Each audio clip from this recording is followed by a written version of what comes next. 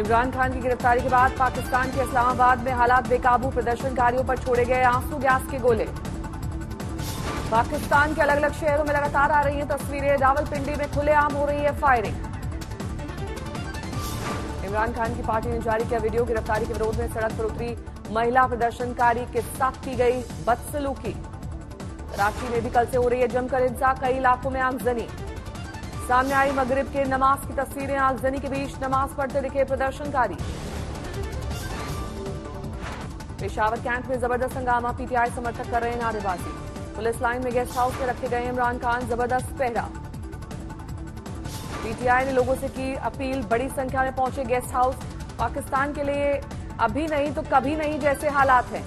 आज कोर्ट में इमरान खान की पेशी इस्लामाबाद, पुलिस ने किए सुरक्षा के सख्त इंतज़ाम। कोर्ट परिसर के अंदर किसी को जाने की इजाज़त नहीं, हथियार बंद पुलिस वालों की तैनाती। एनएबी यानी नेशनल अकाउंटेबिलिटी कोर्ट में इमरान खान की पेशी, न्यायिक हिरासत की मांग। इमरान खान से पूछताछ की तैयारी नेशनल अकाउंटेबिलिटी ब्यूरो ने तीन सदस्यीय टीम बनाई।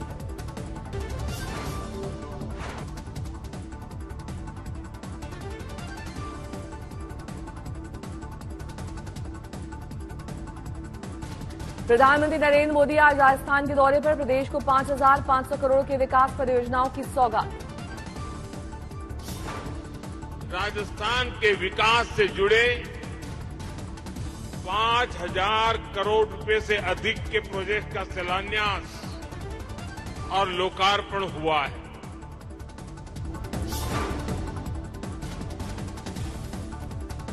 राजस्थान के मुख्यमंत्री अशोक गहलोत ने कहा, हमारे दुश्मनी नहीं है, विचारधारा की लड़ाई है, विपक्ष का भी होना चाहिए सम्मान. पीएम मोदी राजसमंद के नाथ द्वारा में श्रीनाथ जी मंदिर करने के दर्शन पहुँचे। सिरोही में ब्रह्म कुमारी विश्वविद्यालय भी जाएँगे। नाथ द्वारा मंदिर में पीएम मोदी ने की पूजा अर्चना, मंदिर की तरफ़ से पीएम को दी गई भेंट। कर्नाटक विधानसभा के लिए मतदान जारी, सभी 224 सीटों के लिए हो रहा है आज ही मतदान। कर्नाटक के मुख्यमंत्री ने शिगगांव में डाला वोट। लोगों से की मतदान की अपील। मुख्यमंत्री बीएस बॉम्बई पहले गए थे हनुमान मंदिर, पूजा के बाद आकर डाला वोट कर्नाटक के पूर्व मुख्यमंत्री येदियुरप्पा ने किया मतदान, परिवार भी साथ। मतदान से पहले येदियुरप्पा ने श्री राघवेंद्र स्वामी मठ का किया दौरा।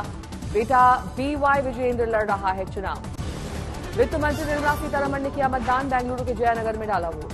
अभिनेता प्रकाश राज ने किया मतदान, लोगों के साथ कतार में खड़े नज़र आए।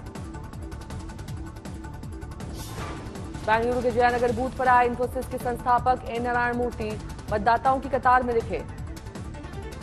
नारायण मूर्ति की पत्नी और लेखिका सुधा मूर्ति भी पहुँची मतदान केंद्र, मताधिकार का किया इस्तेमाल। तुमकुर में जारी है मतदान, श्रीराम सेना के अध्यक्ष सिद्धालिंगा स्वामी ने डाला वोट। कर्नाटक के पूर्व मुख्यमंत्री और कांग्रेस नेता सिद्धारमैया ने मैसूरू में किया मतदान, पार्टी की जीत का दिलाया भरोसा। कर्नाटक के कनकपुरा में प्रदेश कांग्रेस अध्यक्ष डी के शिव कुमार ने डाला वोट, लोगों से की वोट देने की अपील।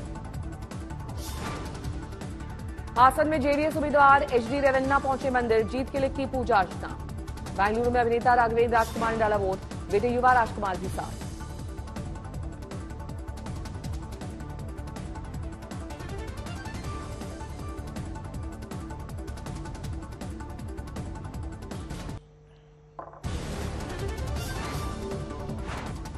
नीतीश कुमार का झारखंड दौरा, मुख्यमंत्री हेमंत सोरेन से की मुलाकात। 2024 को लेकर विपक्षी एकता की मुहिम में जुटे हैं बिहार के मुख्यमंत्री। जेडीयू अध्यक्ष ललन सिंह भी रहे साथ। बीजेपी नेता सुब्रमण्यम स्वामी का बयान, ममता बनर्जी को बनना चाहिए प्रधानमंत्री। हमीरपुर में निकाय चुनाव की तैयारी, सीआईएसएफ, पीएसी और पुलिस ने किया मार्च। ईटानगर में कुछ सामाजिक संगठनों ने बुलाया बहत्तर घंटे का बंद, राजधानी में सन्नाटा। अतीक की पत्नी शाइस्ता परवीन को लेकर अखिलेश यादव का बड़ा बयान, माफिया लिखने पर जताया विरोध। अखिलेश यादव ने कहा शाइस्ता को माफिया लिखना पुलिस की नहीं बीजेपी की भाषा है। बीजेपी की भाषा है। एक महिला को इस तरह कहना ये बीजेपी की भाषा है मुख्यमंत्री की भाषा है और ये नफरत से चुनाव जीतना चाहते हैं।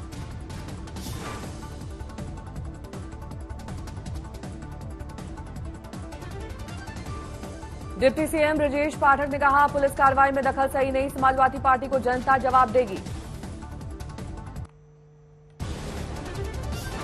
बरेली के मौलाना तोकी रजा का बयान, अतीक और अशरफ की हत्या का बदला लेना है, आज़म खान की जिल्लत का बदला लेना है। मौलाना तौकीर रजा ने कहा, अतीक और अशरफ के कत्ल में जितनी जिम्मेदार बीजेपी है, उतनी ही समाजवादी पार्टी भी है। पुंछ से ऑपरेट हो रहा है, धमकी देने वाला ट्विटर हैंडल ट्विटर हैंडल का नाम, द सज्जाद मुगल। 16 अप्रैल से आठ मई के बीच ट्वीट, तेईस दिनों में अतीक अहमद को लेकर, तेईस ट्वीट को लेकर अलर्ट। देहरादून में सरकारी ज़मीन पर बनी मजारों पर चला बुलडोजर विकासनगर में कार्रवाई। देहरादून के विकासनगर में 20 से 30 अवैध धार्मिक निर्माण की पहचान पुलिस बल की मौजूदगी में हुई कार्रवाई। देहरादून में धार्मिक स्थलों से लाउड स्पीकर हटाए जा रहे हैं पुलिस ने चलाया अभियान। साठ धार्मिक स्थलों से हटाया गया लाउड स्पीकर आज तक की थी मौलत पुंछ के पास संदिग्ध गतिविधियों को लेकर अलर्ट, पूरे इलाके की घेराबंदी। दिल्ली के जंतर मंतर में पहलवानों के अठारह दिन धरना जारी, बड़ी संख्या में पुलिस बल की तैनाती। राउज एवनी कोर्ट में कुश्ती खिलाड़ियों की याचिका, धारा एक के तहत बयान दर्ज किए जाने की मांग। दिल्ली महिला आयोग ने डीसीपी को किया तलब। ब्रिजभूषण शरण सिंह के खिलाफ कार्रवाई नहीं करने पर सवाल। हिसार में रिटायर्ड कर्मचारी ज्वाइंट एक्शन कमेटी का प्रदर्शन। गंभीर आरोपों के बावजूद कुश्ती महासंघ अध्यक्ष की गिरफ्तारी नहीं होने पर सवाल। रोहतक में कांग्रेस के कार्यकर्ताओं ने कुश्ती खिलाड़ियों के धरने में समर्थन में निकाला कैंडल मार्च ब्रिजभूषण शरण सिंह की गिरफ्तारी की मांग।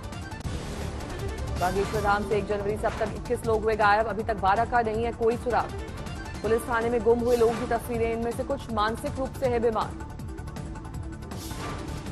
छतरपुर में रामकथा के बाद यजमान की पत्नी को भगा ले जाने का मामला, कथावाचक के शिष्य नरोत्तम दास का आरोप, महिला ने कहा, वर्दी से आई।